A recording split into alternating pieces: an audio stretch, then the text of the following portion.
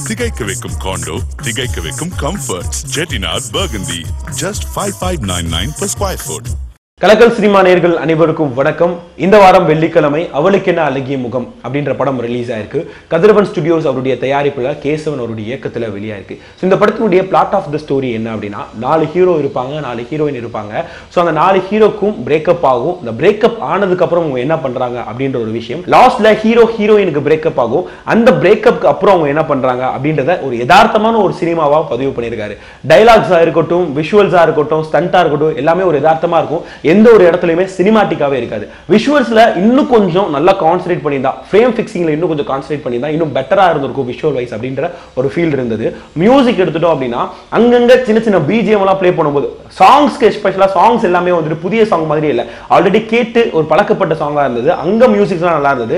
இன்னும் ஒரு சில இடங்கள்ல அங்கங்கே வந்துட்டு இளையராஜா சாருடைய மியூசிக்கை வந்துட்டு பிரசன்ட் பண்ணியிருப்பாங்க. ஒரு சில சீன் சுச்சுவேஷனுக்காக ஸோ அந்த இளையராஜா சாருடைய மியூசிக்ஸ்லாம் கேட்கும்போது நம்மளுக்கு பழைய ஞாபகம்லாம் வந்துடும் அந்த இடத்துக்கு இயக்குனர் கொண்டு போயிருப்பாரு.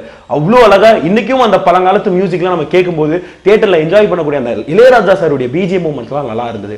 யோகி பாபு ஃபர்ஸ்ட் ஆஃப்ல ட்ராவல் பண்ணி வருவாரு யதார்த்தமான ஒரு டைலாக் டெலிவரி அது சும்மா அப்படியே கிண்டல் பண்றது ஒரு அடமொழி வச்சு கூப்பிடுறது அந்த மாதிரி யதார்த்தமா இருந்தது. செகண்ட் ஹாஃப் ஃபுல்லா பவர் ஸ்டார் கூட டிராவல் பண்ணுவாங்க. வைரமுத்து வரிகள்ல பாடல்கள் வந்துட்டு அமைஞ்சிருக்கும் போது பாடல் எல்லாமே புதுமையா இருந்தது. வரிகள் எல்லாமே அந்த சுச்சுவேஷனுக்கு ஏற்ற மாதிரி அமைஞ்சிருந்தது. ஸோ படத்துக்கு அது ரொம்பவே பிளஸாகவும் இருந்தது. அங்கங்க ஹியூமர் வந்து பிரசென்ட் பண்ணியிருந்தாலும் யதார்த்தமான டைலாக்ல யதார்த்தமான ஒரு படத்தை பதிவு பண்ணியிருக்காங்க. எல்லாருமே ஒரு டெபியூட் ஃபிலிம் தான் அவங்களுக்கு இது.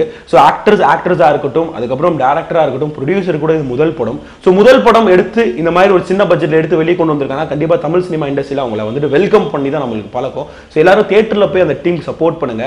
அங்கங்கே குறைகள் இருந்தாலும் ஒரு சில இடங்கள்ல நிறையும் இருக்கு குறையும் இருக்கு. ஸோ அதெல்லாம் நம்ம பார்த்து அவங்களுக்கு சப்போர்ட் பண்ணி அப்பதான் அடுத்த படைப்பு அவங்க கொண்டு வருவாங்க. ஸோ எல்லாரும் தியேட்டர்ல போய் இந்த படம் பாருங்க சப்போர்ட் பண்ணுங்க.